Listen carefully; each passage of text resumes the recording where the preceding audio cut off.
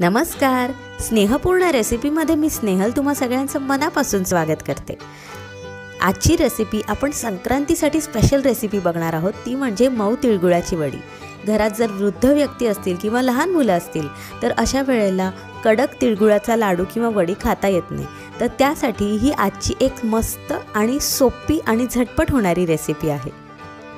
माझ्या व्हिडिओज माझ्या रेसिपीज जर तुम्हाला आवडत असतील तर स्नेहपूर्ण रेसिपी चॅनलला नक्की सबस्क्राईब करा आणि शेजारील दिलेलं बेल आयकॉनसुद्धा प्रेस करा.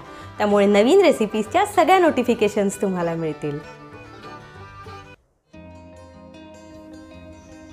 मी गॅसवर पॅन गरम करायला ठेवला आहे आणि पॅन छान गरम झाला की एक मोठी वाटी भरून मी इथे तीळ वापरते हे जे तीळ मी वापरते ते साधे तीळ आहेत. पॉलिश केलेले तीळ मी वापरत नाही आहे पॉलिश केलेल्या तिळांची चव थोडीशी वेगळी लागते पण दिसायला ते पांढरे शुभ्र असतात. तर हे तीळ आपल्याला बारीक गॅसवर व्यवस्थित भाजून घ्यायचे तीळ चांगले तडतडायला लागले की त्यानंतरच मग गॅस बंद करायचा आहे तर हे तीळ मी बारीक गॅसवर भाजून घेतलेत. आता गॅस बंद केलेला आहे आणि तीळ थंड करण्यासाठी एका मोठ्या ताटामध्ये मी काढून घेते.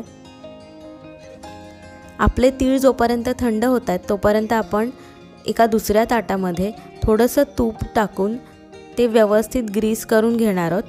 तर ही प्रोसेस जी आहे ती तुम्हाला आधीच करायची आहे. कारण की नंतर जेव्हा आपण मिश्रण गरम असताना हे जर करायला गेलो तर खूप वेळ जाईल आणि मिश्रण आपलं कडक होईल. आपण जे तीळ थंड करून घेतले ते मी एका मिक्सरच्या भांड्यामध्ये काढून घेते आणि हे आपल्याला अगदी जाडसर बारीक करून घ्यायचे आहेत म्हणजे अगदी एक दोन सेकंदांसाठी मिक्सर चालू करून पुन्हा बंद करायचा. तर अशा पद्धतीने आपल्याला हे दोन तीन वेळा फिरवून घ्यायचे आहेत आणि असं जाडसर असं इथे तिळाचं आपल्याला कूट करून घ्यायचं आहे खूप बारीक करायचं नाही आहे आणि खूप जाडसुद्धा ठेवायचं नाही आहे खूप बारीक केलं तर त्याला तेल सुटतं. तर साधारण अशी कन्सिस्टन्सी असायला हवी. त्यानंतर मी इथे ज्या वाटीने आपण तीळ मोजून घेतले त्याच वाटीने साधा गूळ जो आहे तो किसून घेतलेला आहे आणि अर्धी वाटी दाण्याचं कूट घेतलं आहे तर हे कूट माझ्याकडे ऑलरेडी होतं. तर तुम्हाला बनवायचं असेल तर अर्धी वाटी शेंगदाणे भाजून ते सुद्धा थोडेसे मिक्सरमधून जा जाडसर दळून घ्यायचे आणि त्याचं कूट करून घ्यायचं. आता एका मोठ्या कढईमध्ये दोन चमचे साजूक तूप घालायचं आणि त्यानंतर आपण जो गूळ घेतला होता तर तो गूळ आपण यामध्ये घालणार आहोत. आपल्याला गुळाचा खूप घट्ट असा पाक करायचा नाही आहे कारण की मग आपली वडी कडक होईल आपल्याला वडी मऊ हवी आहे तर त्यासाठी काय काय करायचं काय काय ट्रिक्स आणि टिप्स फॉलो करायच्या ते मी तुम्हाला या व्हिडिओमध्ये सांगणार आहे. गूळ व्यवस्थित आपल्याला विरघळून घ्यायचं आहे गॅसची फ्लेम जी आहे ती मी मध्यम ठेवलेली आहे. गूळ छान विरघळला की त्यानंतर पुन्हा एकदा यामध्ये एक चमचाभर साजूक तूप घालायचं. त्यामुळे आपली वडी जी आहे ती मऊ होण्यास मदत होते. आपली ही वडी आहे ती साधारण दीड ते दोन महिने व्यवस्थित टिकते. तुम्ही हवाबंद डब्यामध्ये बाहेर कुठेही ठेवली तरी ती व्यवस्थित टिकते. आता यामध्ये मी एक चमचाभर तूप घातलं आहे आणि तूप घातल्यानंतर पुन्हा एकदा व्यवस्थित मिक्स करून घ्यायचं. आपल्याला हे खूप जास्त शिजवून घ्यायचं नाही आहे खूप जास्त असा घट्ट असा पाक बनवून घ्यायचा नाही आहे आता हे मिक्स केलं आहे आणि ह्याला थोडेसे बुडबुडे येतात. बुडबुडे जेव्हा यायला लागतील तेव्हाच आपल्याला या यामध्ये दोन चमचे पाणी घालायचं आहे आणि पाणी घातल्यानंतर हे पुन्हा एकदा अगदी फास्ट मिक्स करून घ्यायचं आहे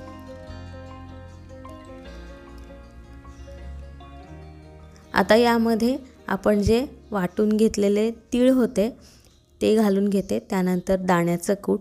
तुम्हाला जर आवडत असेल तर तुम्ही यामध्ये वेलची पूड किंवा जायफळ पूडसुद्धा घालू शकता. आता हे अगदी भरभर मिक्स करून घ्यायचं आहे आपल्याला आणि पुढची प्रोसेस जी आहे ती अगदी फास्ट करायची आहे आणि गॅसची फ्लेम जी आहे ती मी बंद करून घेतली आहे आणि या ताटामध्ये ज्याला आपण तूप लावून घेतलं होतं त्यामध्ये हे मिश्रण आपल्याला काढून घ्यायचं आहे ही प्रोसेस थोडीशी फास्ट करावी लागते कारण की जर आपलं मिश्रण थंड झालं तर ते लगेच कडक व्हायला सुरुवात होते. किंवा घट्ट व्हायला सुरुवात होते. तर आता हे मी मिश्रण या ताटामध्ये ओतून घेतलं आहे आणि एका फुलपात्राला खालच्या बाजूने मी तूप लावून घेतलं आहे जेणेकरून आपलं मिश्रण जे आहे ते आपल्याला व्यवस्थित पसरवता येईल आणि ते चिकटणारसुद्धा नाही. तर अशा पद्धतीने मिश्रण पसरवून झाल्यानंतर मी वरच्या बाजूने थोडेसे तीळ घालून घेते. तीळ घालणं पूर्णपणे ऑप्शनल आहे पण खूप छान असा लुक येतो वडीला. आता तीळ घातल्यानंतर पुन्हा एकदा आपल्याला हे त्याच फुलपात्राने थोडंसं असं प्रेस करून घ्यायचं आहे जेणेकरून तीळ जे आहेत ते व्यवस्थित आतपर्यंत जातील आणि चिकटून बसतील. तर मी हे व्यवस्थित प्रेस करून घेते.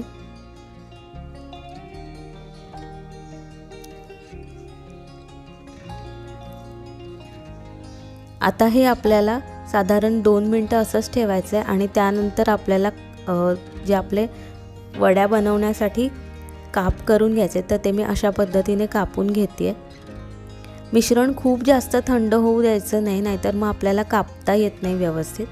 तर मी इथे दोन मिनटं फक्त मिश्रण थंड होऊ दिलं आहे आणि त्यानंतर आपल्याला ज्या आकारात वड्या हव्यात तर त्या पद्धतीने इथे सुरीच्या मदतीने कापून घ्यायचं. आहे